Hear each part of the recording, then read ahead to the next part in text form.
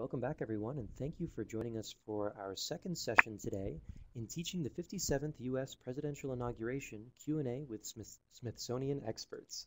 And we're joined by Briana White from the National Portrait Gallery who's going to speak to us about looking at America's presidents.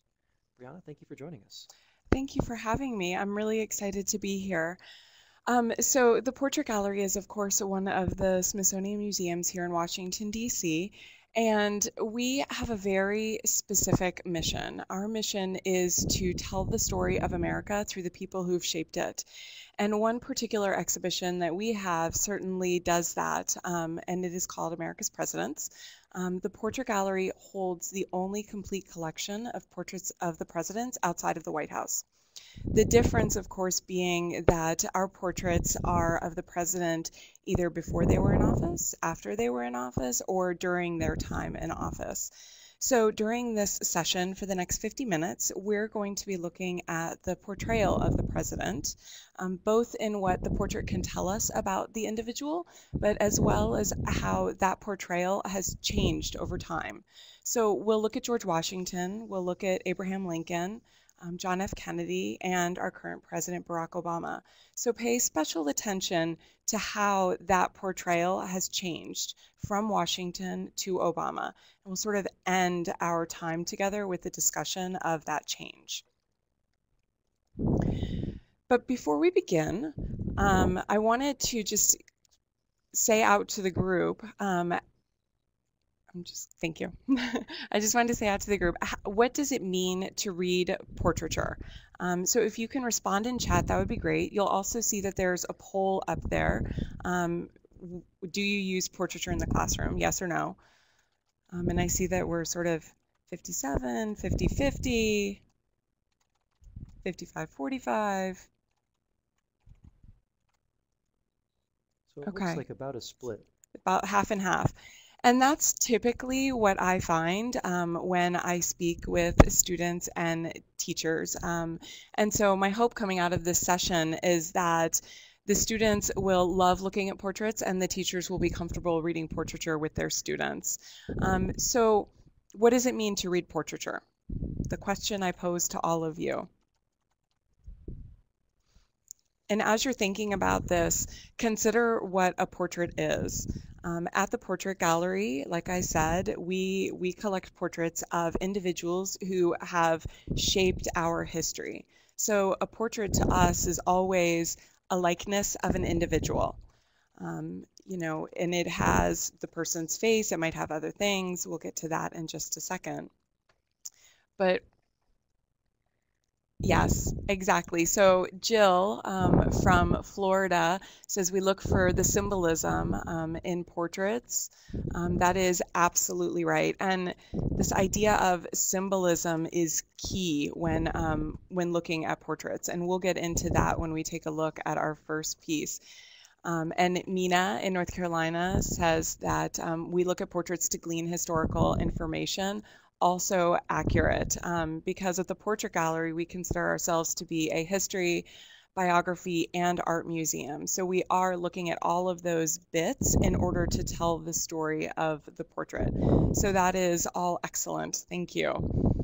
Um, so before we move on, we know now why we read portraiture, but I guess the question is, how do we do it? Um, and so at the Portrait Gallery, we have come up with a number of visual elements that we use in order to learn about the person in the portrait. And we call those elements the elements of portrayal. And so on this next slide, you'll see these elements, um, expression, hairstyle, pose and posture, clothing. Clothing is a really important one because it tells us about a person's social status. Um, it tells us about the era in which they lived. It might tell us um, about their culture um, as well as what their occupation was. Um, setting is also key. Is the person inside or outside? Um, are they in an office? Are they in a laboratory? Are they in the Oval Office? Um, objects are also really important, and it goes back to this idea of symbolism because those objects are there for a reason. They're there to tell us something about the individual. So the objects, by virtue of that, become symbols. Media, is it a painting? Is it a sculpture? Is it a photograph? Um, the size of the portrait, big or small. Um, you know, if it was commissioned, the bigger it is, the more it cost. And so by commissioned, I mean that there was a third party who paid to have a portrait created. Um, the style of the portrait, as well as what colors really stand out um, when you're taking a look at an image. So all of those things are key. So remember as best as you can all of these elements um, for the next thing that we're going to do. Um, so at the museum, we have come up with, over time, a number of what we call learning to look strategies, um, what we consider ways to engage students um, in looking at a portrait. Um, and the idea is, is that you're going beyond that very simple question of what do you see? And so this first strategy that you see on the screen is called the 30 second look and just so happens to be my favorite. Um, and so in just a second, we are going to pop over to the next screen, which, which is going to be a portrait in the museum's collection. And I am going to give all of you 30 seconds to look at this portrait. I'm going to have you look from top to bottom, side to side, and all around. And after you've looked at the portrait for 30 seconds, we are going to take it off of the screen really it means you're turning away from the portrait if you were in the gallery. And then we're going to have a conversation about what you saw, but of course you won't have the image on the screen to take a look at. So you really are going to have to pay close attention to what you see in this image. I hope everybody's ready. Your 30 seconds starts right now.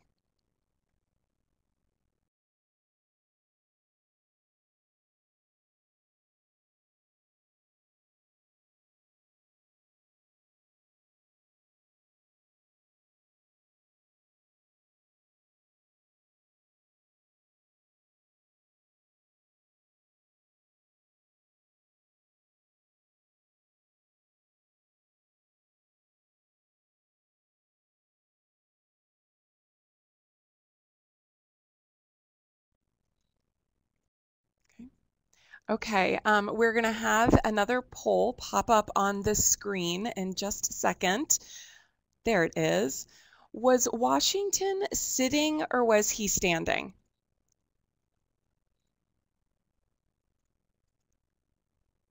Excellent, excellent. So the majority of you, 95%, um, said that he was standing. Oh, and now some people said, and a couple of you said that you don't remember. Um, yes, absolutely, he was standing. Excellent. So think about his pose and how he was standing. Was he holding anything in his hand or hands? And if so, what was it?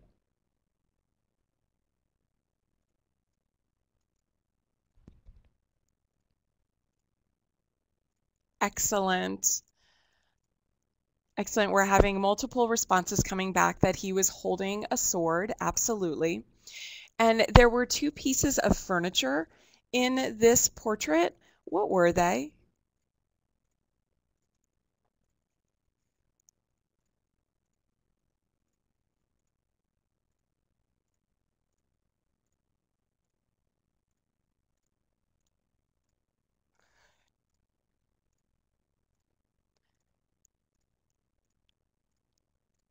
Okay, we're starting to get those responses. Absolutely.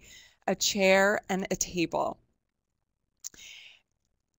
And when you're looking at, when you looked at the back of the chair, at the very top, there was an emblem. And so, what was the emblem of, and what shape was it in?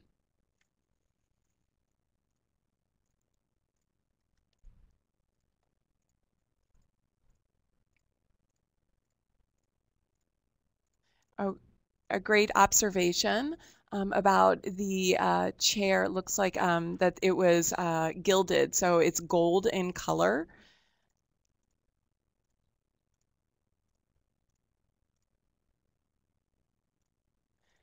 So we do have somebody who um, was paying special attention to uh, the table. Linnea uh, from Tennessee, um, she saw a pen on the table. Um, but didn't see one in his hand. I had noticed earlier that somebody had mentioned a pen in Washington's hand. And don't fret, everybody. We will take a look at the portrait again, and you'll be able to see, you'll be able to go back and notice what you didn't notice before and confirm the things that you did notice. Um, we have some responses. Um, Pino from DC says that uh, the shape of the emblem was oval. Um, and, oh, excellent. Um, we have um, Mina again from North Carolina said the shield uh, was red, white, and blue. Um, and then a few of you have responded about the table as well um, regarding books. And so um, there are, it looks like we're seeing five books under the table and two on the table. Um, and we've already noticed that there was a pen. What else was on the table?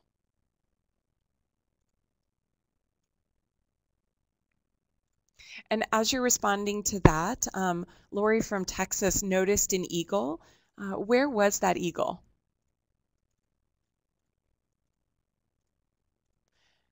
Okay, so I'm seeing more responses coming in. There were papers, what looked like a cloth, perhaps a rolled up document, a scroll, um, velvet drapery. Excellent. This is a very observant group.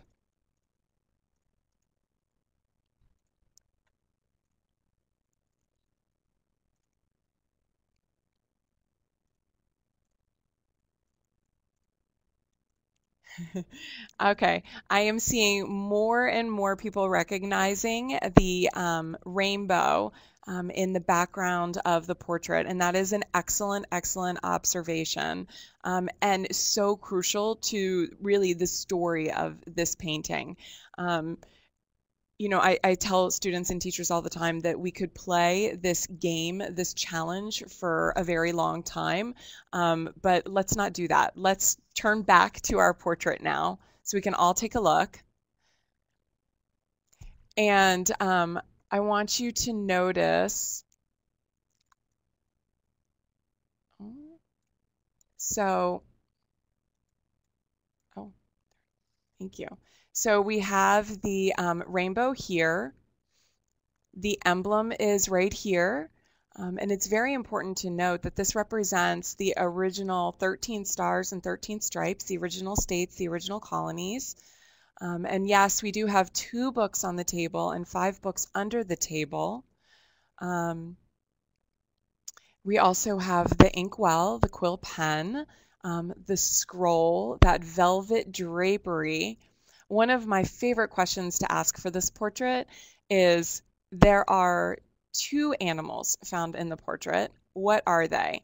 And so some of you noted already that there are eagles, and you'll see here on the table leg that there are two eagles. But most of you might not notice on the inkwell, there are dogs. The dogs are laying down and they're basically holding up the inkwell. And so, one of the wonderful things about this portrait, and I think one of the reasons why it's so great to use in the classroom, is that it tells such a rich story. Um, if you want to learn how to read portraiture, this is a great piece to use. If you want to learn about George Washington, this is a great piece to use. Um, if you're if you're interested in learning about um, this particular era in history, this is a really a spectacular piece to use. Um, this portrait of George Washington is called the Lansdowne Portrait. Um, it was painted by Gilbert Stuart, who was um, a famous American artist during Washington's era. The portrait was created in 1796. Um, and it is called the Lansdowne portrait because it was commissioned by Senator and Mrs. Bingham of Pennsylvania for the Marquess or Lord Lansdowne. Lord Lansdowne was a um, great admirer of Washington's. Um, he was a supporter of the American cause. Um, and I think it's really important to note that this um, that this portrait went over to England in 1796 um, and remained there. Um, went down through um, English families for many, many, many years until it was loaned back to the Portrait Gallery in 1968 when our museum opened to the public for the very first time. Um, and so when people think of George Washington, most think of this portrait because it really is iconic. It is meant to be um, a Washington for the ages. So the question still remains, though, what does that rainbow symbolize? If it's 1796 and the revolution is over, Washington is not wearing a military uniform, what does this rainbow symbolize?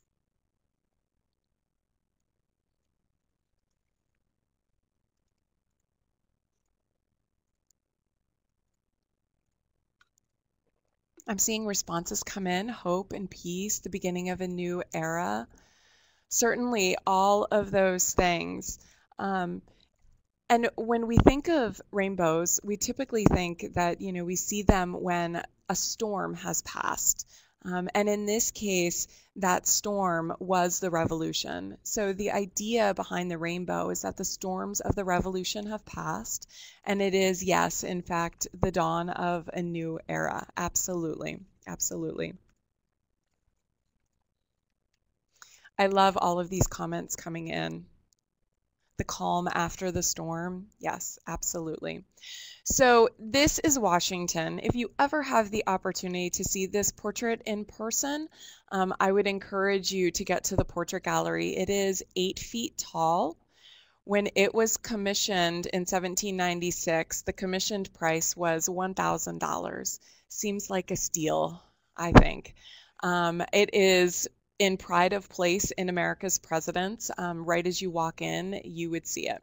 So remember this piece oil painting um, on canvas, um, very much the style um, of portraiture during this era.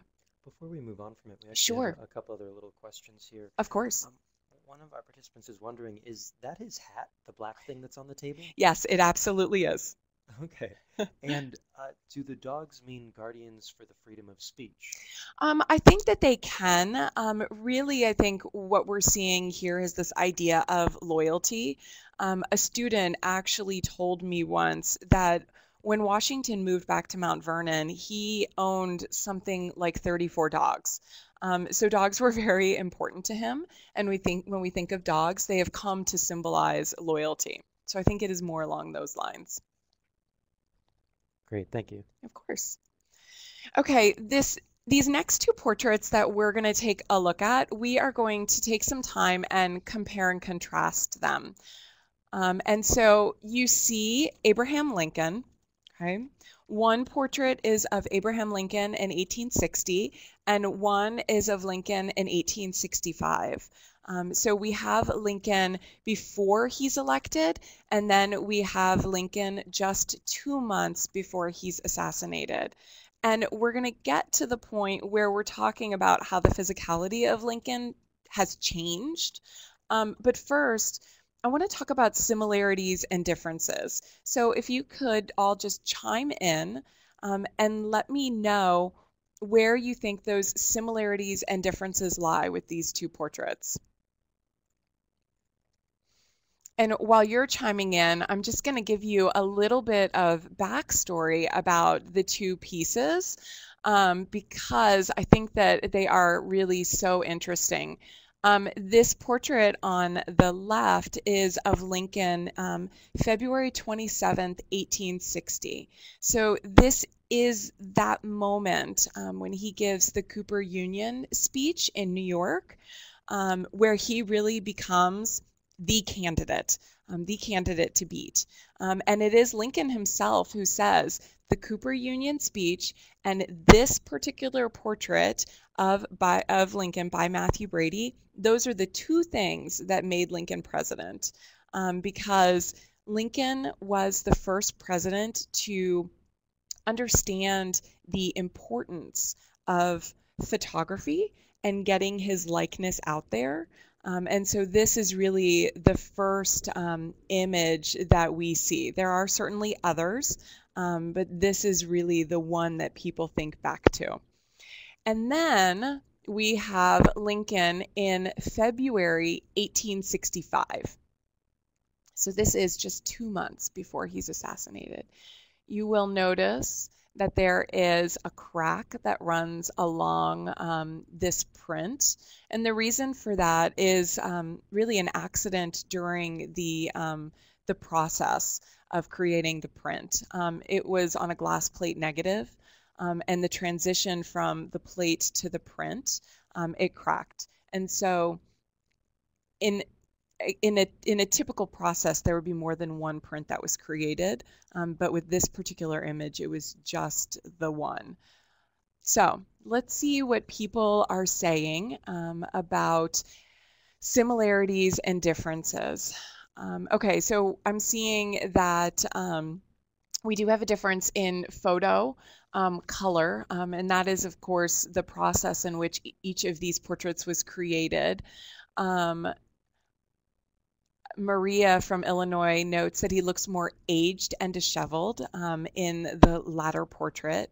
Certainly, certainly. Um, she has also said that the Civil War and the loss of a child has taken its toll. Um, I'm seeing that the eyes seem careworn. Um, first, he looks happier and then more serious. Um, with the uh, portrait on the left, we see more of Lincoln.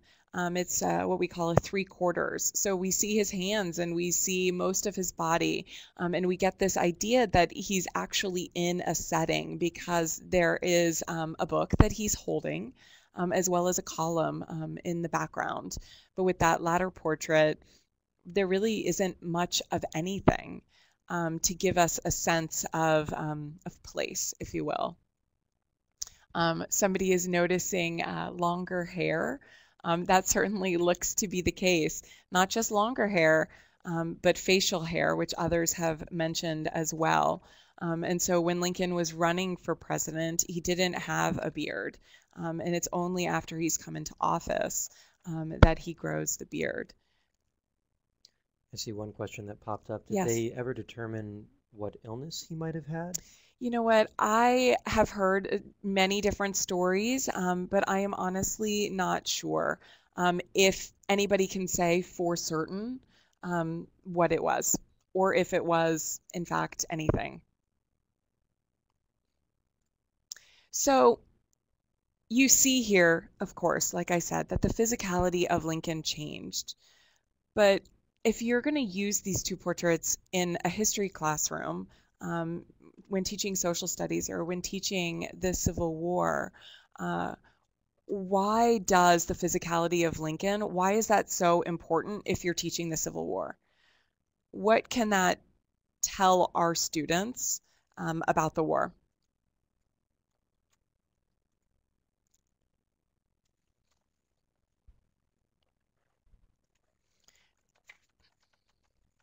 While people are responding, um, I can answer answer a couple of other questions. Um, there's a question about why his uh, facial expression changes from one portrait to the other. You know, my understanding um, in all of the portraits that I've seen of Lincoln, and the portrait gallery owns quite a few, um, Lincoln very rarely smiles. Um, it doesn't happen doesn't happen so often. Um, and so with this portrait on the right, we see this slight smile, just ever so slight. Um, and my understanding is that he actually had a friend in the studio with him um, when this portrait was created. And at that moment, when um, Alexander Gardner took this photograph, that friend made a joke. Um, and so there is that slight smile. Um, and it is interesting because again, we just we don't ever see it. Usually we see the very serious Lincoln that we see on the left. Um, so let's get back to this idea of why the physicality of Lincoln is important if you're studying um, the Civil War and what it might tell us. Excellent. So, um, Wynetta from Atlanta says use the photos to teach inference and the weight of the presidency. And that's absolutely right. And, you know, the truth is, is that we use these two portraits a lot in the gallery. Um, but depending on what president you're studying, um, we always see that presidents age from the beginning of their term to the end. Um, and so it doesn't have to be with just Lincoln, it can be with really any president. Um, what an interesting activity to do maybe over a school year um, with portraits of all different um, presidents. Maybe you pick 10 um, throughout history. Um, Exactly. Uh, Shanna from Utah notes that it was a brutal war that impacted the lives of everyone, including the president. Certainly, and we see it um, with that um, with the cracked plate portrait. Um, you see the um, the eyes and the bags under the eyes. Um, of course, you've got the facial hair, and then you've got these wrinkles and lines. Um, I think what is one of the things that's so striking about um, this particular portrait is um, the fading out as you move out from the center of the portrait, but also that Lincoln's hair is disheveled and his tie is askew. Um, because if you look at the portrait on the left, you see it's not as disheveled, but that tie is very clearly in place. Um, and so certainly a lot has happened um, in those five years. And Megan from Kansas Yeah. asks something that connects directly to this. When those photos are taken, do the presidents choose what they want to look like or where they were? So was that a conscious decision for him to look like that in the second photo? Um, I think that um, it's always a conversation between the artist and the sitter, um, whether the sitter being the person in the portrait. Um, and so, whether or not the sitter is the president or somebody else, I think it is always um, a conversation. For these two portraits, um, Lincoln went to the artist's studio.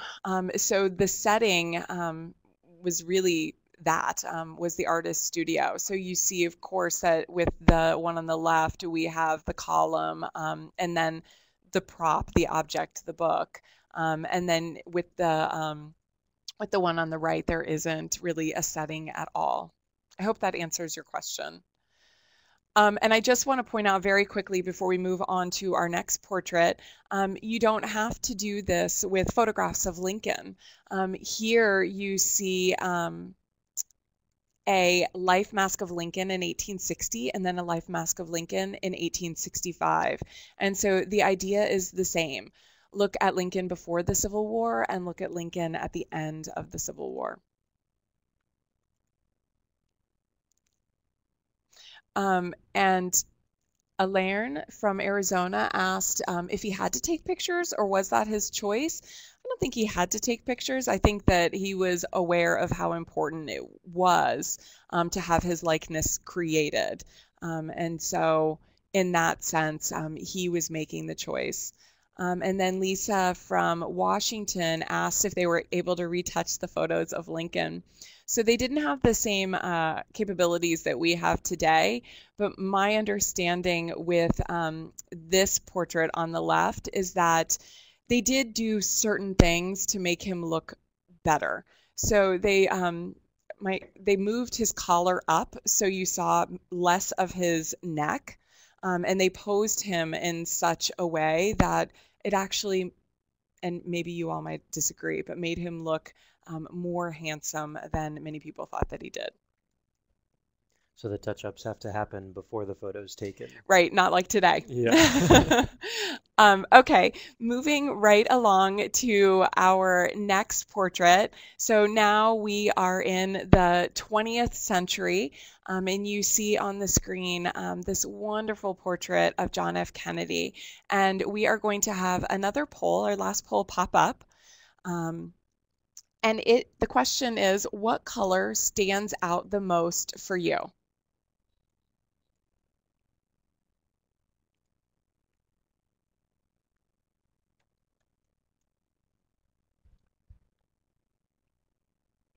And there's no right or wrong answer here, so feel free to let us know if uh, if you differ from the group. Okay. Okay, so we're seeing a lot of green, um, which I expect because there is a lot of green and different tones of green um, in this particular portrait. And of course, the white, because where you do see the white, it is it's, it's very striking. Um, it is really as as white as white can be. Um, and then, of course, um, black also plays a big part um, in this portrait. Um, so I want to ask all of you, how do you think color sets the tone in a portrait? We had talked about the idea of color when we were talking about the elements of portrayal, but how does color set the tone?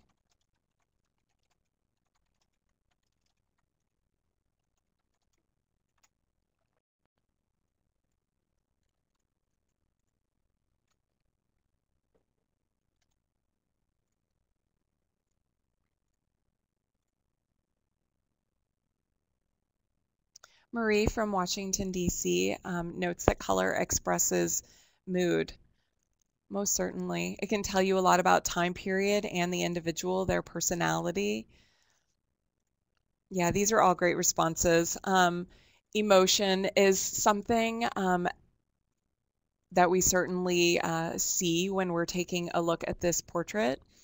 And then we always have to go back to this idea of um, green, blues, and purples we think of as cool colors, and reds, yellows, and oranges we think of as warm colors.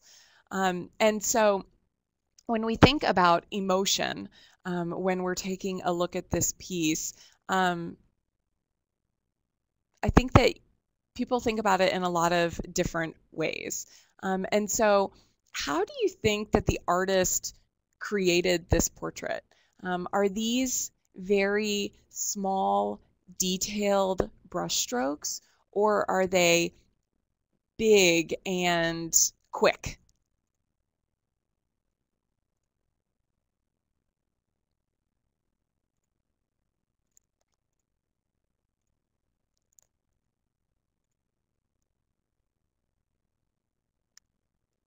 Okay.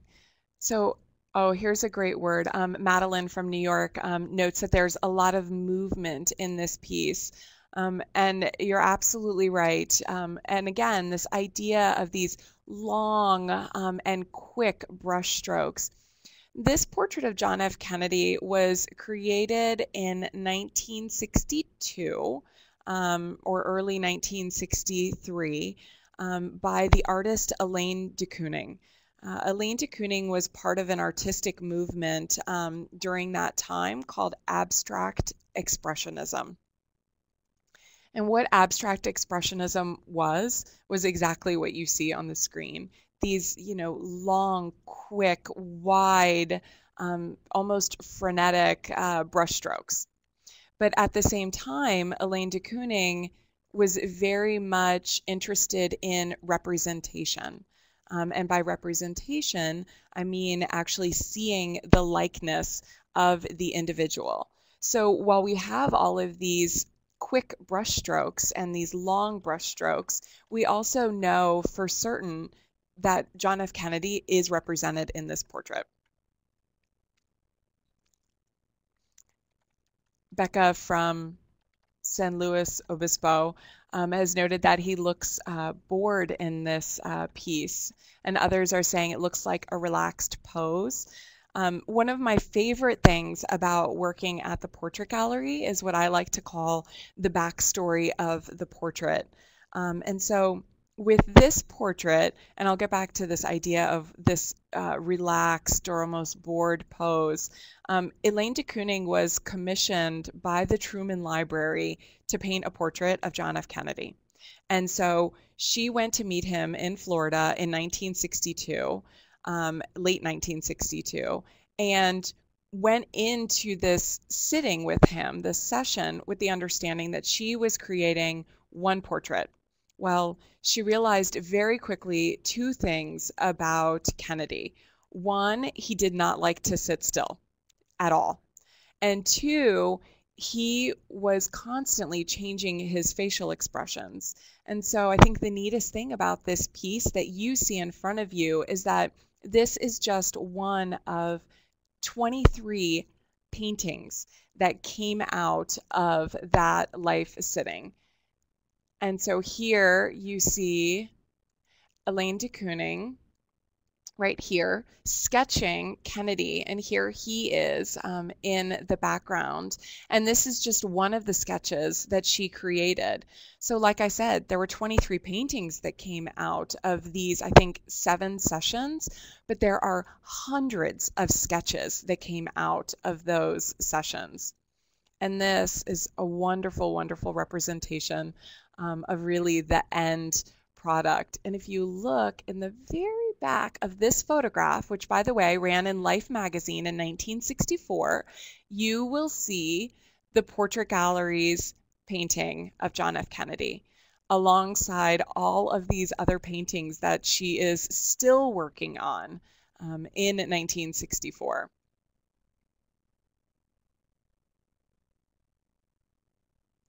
Um, Wynetta, yes, the portrait, the portraiture process is incredibly fascinating. Um, and I think that it's one of the things that's always so nice um, about looking at likenesses of individuals that we know from history textbooks. Um, you know, we read about their stories in history textbooks, but the portraits can tell us an absolutely wonderful story as well. And so, with that, I think that I would like to move on to our very last um, portrait. But before we do, um, Kelly from North Carolina, she had a question that um, about Lincoln from before. Um, what are the masks made of? Um, and it is um, it's plaster.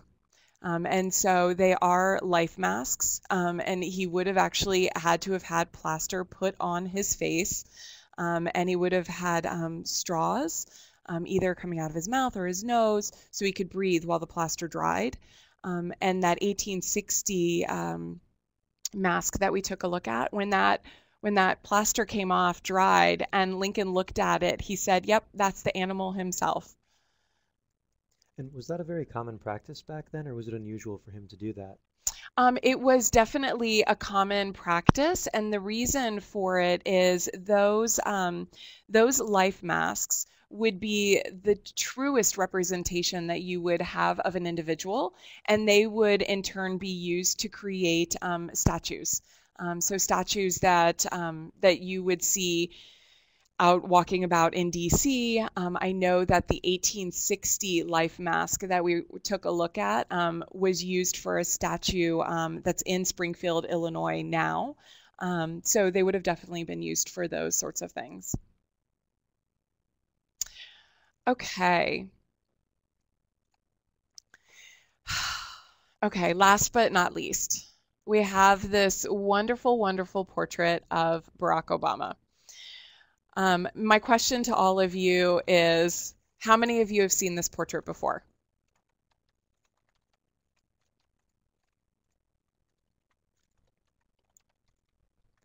I'm seeing a flood of yeses coming into the chat here. Okay, excellent, excellent. That is what I was hoping that everybody would say. Um, and now I want you to consider where you saw this portrait and when you saw it.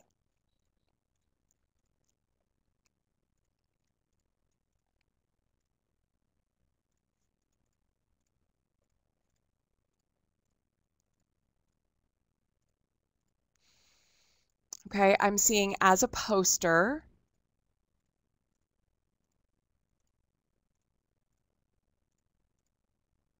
A campaign poster, absolutely. Looks like it made it into the world of memes as well. Seeing a Facebook meme. Yep, bumper stickers. Um, also on pins that you would wear.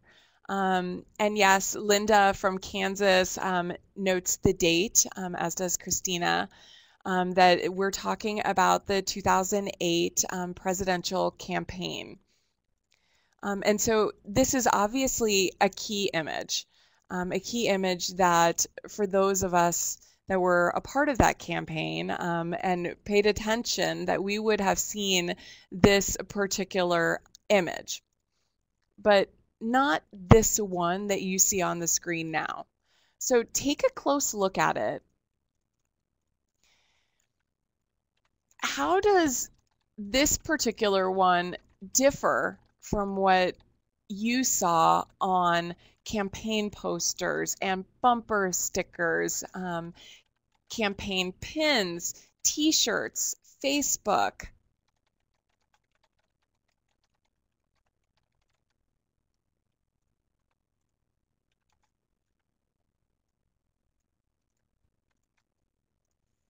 Okay, I, I also see a flood of responses coming in.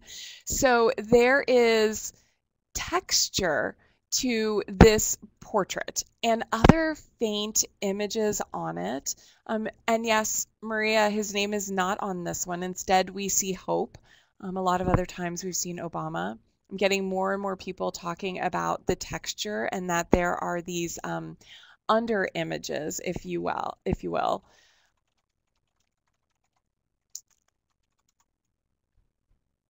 Okay, and then this idea of mixture. Excellent. So I'm going to, I might, I'm going to move on to this next slide, and I might come back to the other one in just a minute.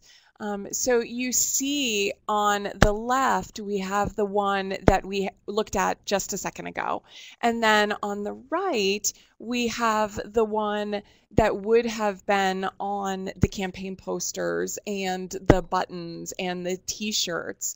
Um, and you all have said it. The difference is this idea of texture, um, of other designs, um, patterning, um, if you will, um, on the one on the left, as well as really the colors are slightly different um, between the two. And the reason for that is that the one on the left um, is what is called a fine arts version. Um, this particular portrait was created by the street artist Shepard Fairey um, in 2008, um, and this is the first one that he created. And he knew that he had a wonderful image of Obama. And so um, he actually put, um, or he sold, I believe, um, not many, maybe 350 uh, posters of this image in order to print um, 10,000 more. Um, and this image really became the signature image for the 2008 campaign. Um, it was not something that Fairey was commissioned to do by the Obama campaign, but he felt, Shepard Fairey did, that um, this was his way to contribute, um, his way to campaign for the um, individual that he believed in. And so um, this portrait that we see on the right, we typically saw it as a, a small poster, um, again, on a t-shirt. Um, but the one on the left is actually probably about, I would say, maybe five feet tall by four feet wide. Um, so it's fairly large. Um, and so the great thing is, is that you'll see right here and here and even here that what Fairey has done is before he painted, before he spray painted um, this likeness of Obama, he collaged um, a whole bunch of old newspaper print, um, what really looks like either wrapping paper or a scrapbooking material, um, all onto this, um, all onto this paper, um, I think a cardboard. And then on top of that, he put um, these various stencils that he uses in his work. And I had noticed before, um, Darren from DC is familiar with Shepard Fairey's work because um, he mentioned the obey symbol. Um, and you see part of it right here um, in this half star. And then up here, you see a little bit more of it as well. Um, and so that is um, a symbol that Fairey puts in most of his work, and this, of course, is no exception. And then from there, he spray painted again this likeness that we see of Obama. And one of the things that strikes me um, are the colors that he used. I think it's fair to say that we can all agree that we see red, white, and blue um, in this particular portrait. But how are they positioned in the portrait? And for that, we will go back to this. So how, where do we see the blue? Where do we see the red?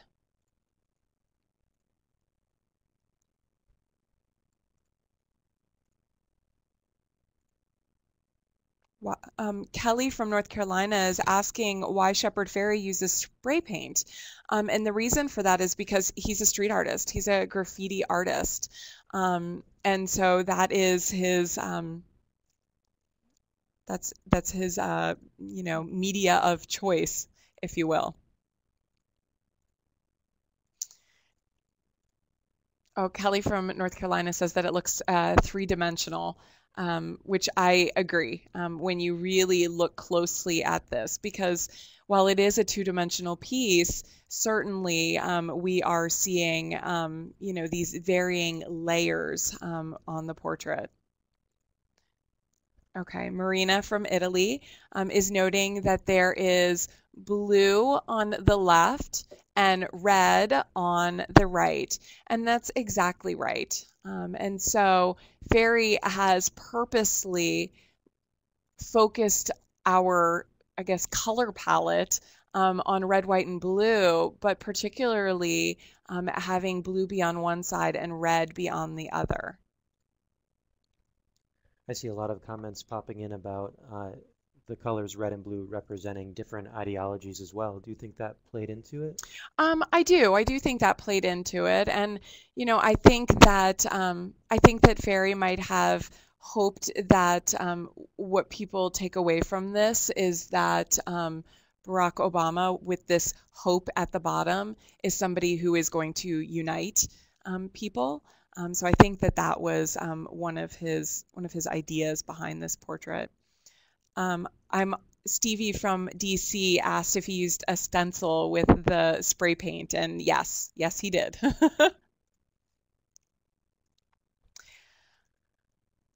So we are nearing the end of um, our time together. Um, I wanted to certainly open it up to questions.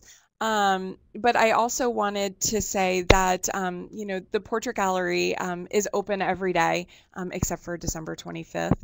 Um, and if you ever make it to DC, we have portraits of every single president um, on view. and actually, that is, yes, absolutely true. and the idea is, is that you get to come into this exhibition of America's presidents um, and really take a walk through history. Um, so starting with George Washington um, and going all the way to our current president. Great. And while we have this image up, we sure. actually received a student question related to this, a student yes. video question. So okay. we'll pull that up on the screen and that will start playing momentarily. Okay. Uh, just a quick little side note to our captioners. If you're able to hear me right now, please uh, also reactivate your closed captioning and we'll get that video playing momentarily.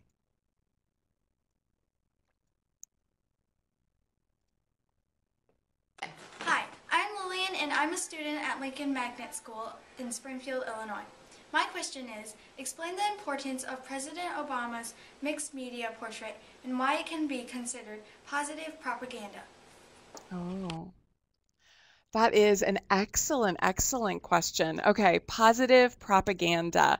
Yes, usually when we think of propaganda, we do think of it as negative in a lot of ways. Um, but I think in this case, it absolutely is positive because it was used, it was created um, to be used to help elect this president. I think the most one of the most interesting things about this particular portrait and um, and sort of the offshoot of that with the posters and the buttons is that Shepard Fairey he wanted the image to go viral. Um, he didn't want this image to just he didn't want it to just stand in a museum. And of course, we did not receive this image into our collection until after um, Obama was elected as president.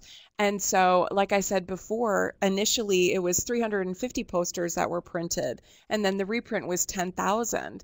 But then on top of that, Shepard Fairey put um, a digital file of this Hope portrait on his website for people to download and do with what they pleased. And so, in that sense, I do really believe that it was positive propaganda. So, that's a great question. Thank you. And it looks like actually we have just reached the end of our time for the session today, but I would like to remind everyone that if we didn't get to your question along the way, or you have a few that come to mind right now as we're wrapping up, please bring them to the forums on the website. And over the next week, we'll take a look at the comments and the questions there and hopefully provide you with some answers. Um, but I, I want to just take a moment and say thank you so much, Briana, for covering this with us. You're welcome. It was my pleasure. Um, it was a pleasure speaking with all of you, and I hope that you all found it useful and you enjoyed taking a look at the portraits that we took a look at. That's wonderful. And so we're going to be jumping off the air for just about 10 minutes as we transition to our next session. We also have a little bit more Smithsonian Folkways music for you, so I'm going to bring that up on the screen.